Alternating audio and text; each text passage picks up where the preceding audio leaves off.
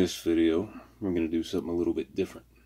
So, a lot of you may have been exposed to the stereotypes of prison where people trade cigarettes and stuff like that over card games or whatever, they gamble cigarettes. That doesn't really happen anymore. Smoking is not a thing in most prisons, it's not allowed. However, people still smoke. so, that presents a question. People smoke in prison, not really allowed to have a lighter, how do you light your cigarettes? There's a few different ways people do it. I think a lot of people just assume that uh, guys, hold on, let me fix some of this light here. There we go. Less blue light on my face. a lot of people assume that guys just sneak lighters in, which sometimes they do, but most of the time they don't. There are several different ways to light a cigarette in prison. Now, let me tell you something. Don't try this at home. You can get hurt. I have done it before. When I was in prison for the first few months that I was in prison, I smoked. Although I quit after that because I almost got a new case at one point because of it. So, you know, I just decided it was in my best interest to stop. Not that I had anything against smoking per se, even though it is unhealthy. There's a lot of things that are unhealthy. It was more because I didn't want to do more time. Now, one way that we used to light our cigarettes in prison. This is a prison fan. This is legitimately the fan that I had in prison. That's my number and the date issue. to a turbo fan. They sell these on Canteen for about $27 because most prisons don't have air conditioning, including most of the prisons in the state of Kansas. It's a working fan. We're going to use this to light a cigarette. so this comes apart. Okay, and I'm actually going to move this just a little bit, bring it out, and maybe down so you can see this a little bit better. Now this cover unclips. I already unclipped it. It's basically these little plastic bits around the edges, just little clips. You get them off with a pair of tweezers, and that's actually how we used to take them off. And you take these blades off, they just slip right off. now, take a look in here. This is what we're going to be using. Most of these fans have a wire nut on them. They come from the manufacturer like that.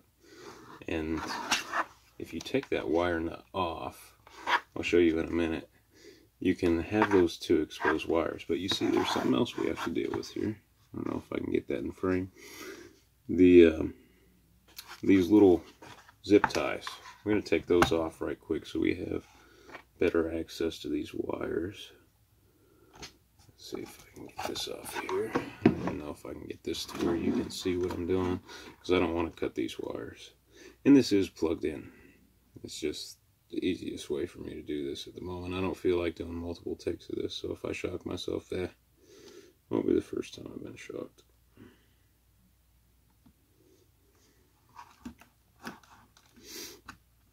I am not afraid of electricity, but that is probably why you shouldn't do this at home.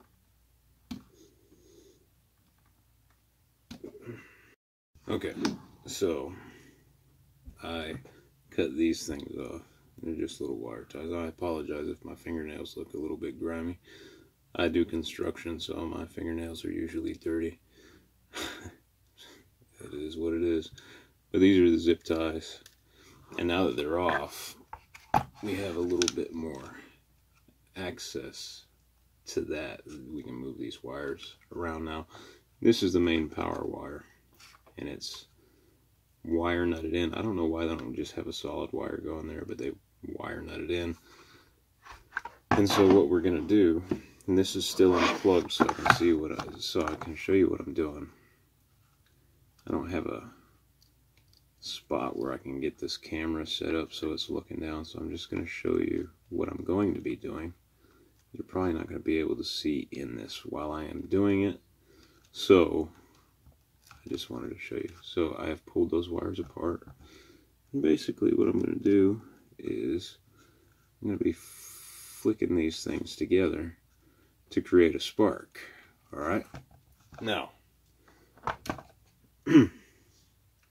two parts to this. We don't just need a spark, we need fuel. Okay? Now, everything that I'm doing for the most part is based on stuff that we actually had in prison. For example, prison fan, these fingernail clippers that I use to cut that apart are prison fingernail clippers.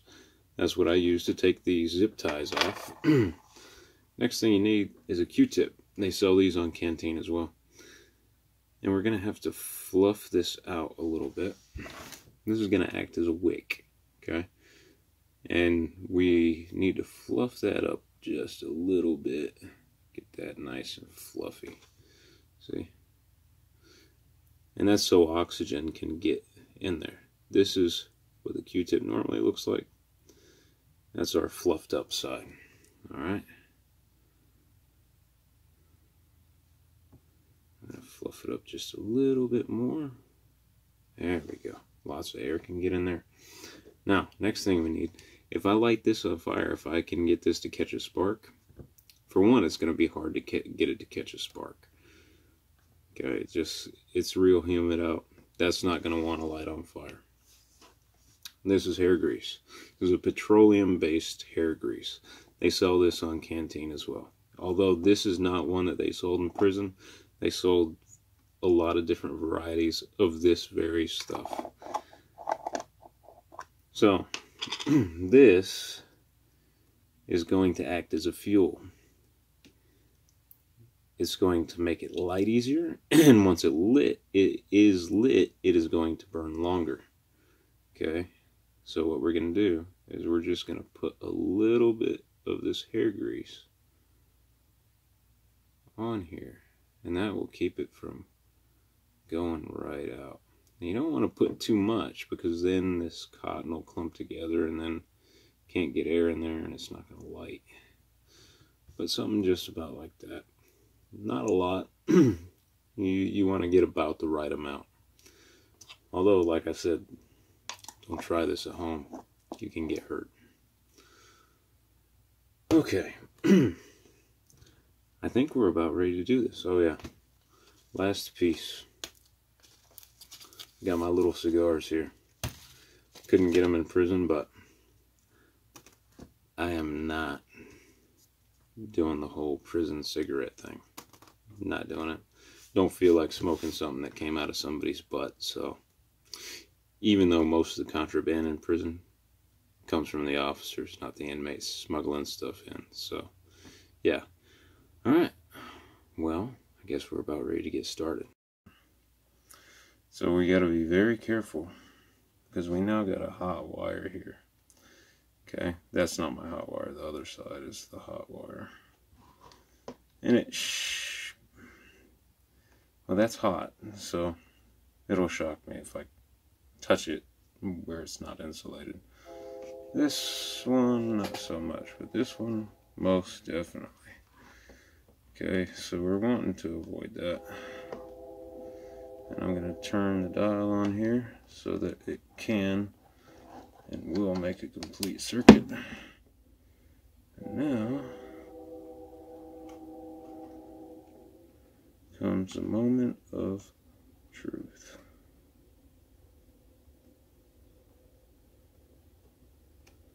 This is hard to do without getting shocked. Which I have gotten shocked doing this before. Not in a long time, but...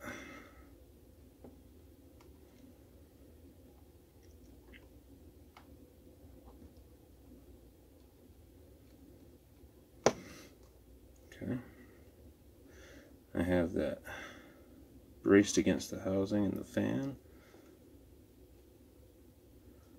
Hold on just a second.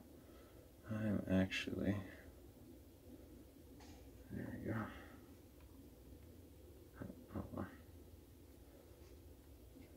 This over here. So you want your spark to catch on that wire. There we go.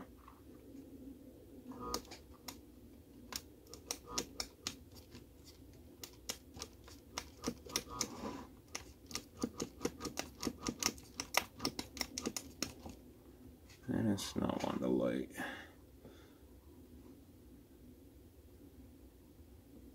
It's been a while since I've done this, so bear with me. Oh, almost went.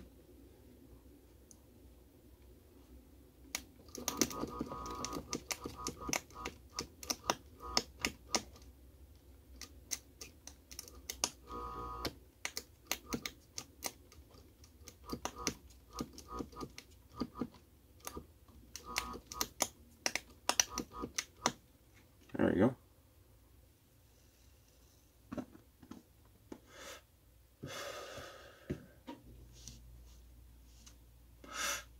And that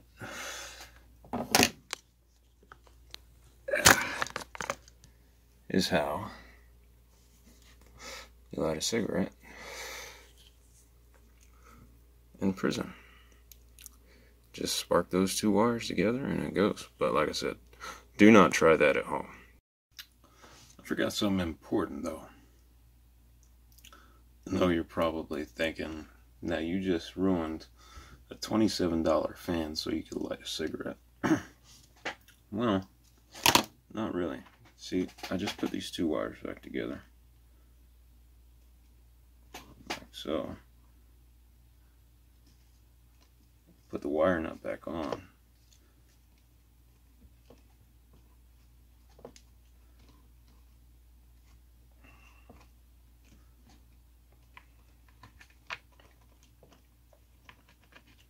push them back up out of the way. So they don't get hit by the fan blades. Throw my dirty Q-tip away. Actually, I would be flushing that down the toilet. then, stick our fan blades back on. Like so. And then we stick our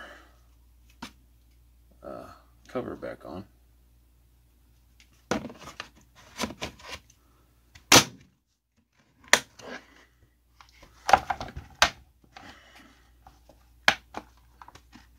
Make sure it snaps into place so the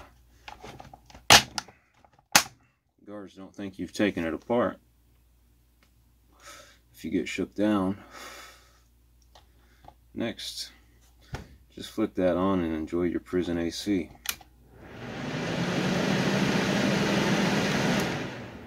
Blow all the smoke out of your cell. Okay, now I'm done. I almost forgot that part, but beh. None of us are perfect, right? Hope you all have a good evening. Again, don't try that at home. Can't stress that enough. Don't do it. I'm not responsible. You, if you fuck yourself up, it's on you. make these chains They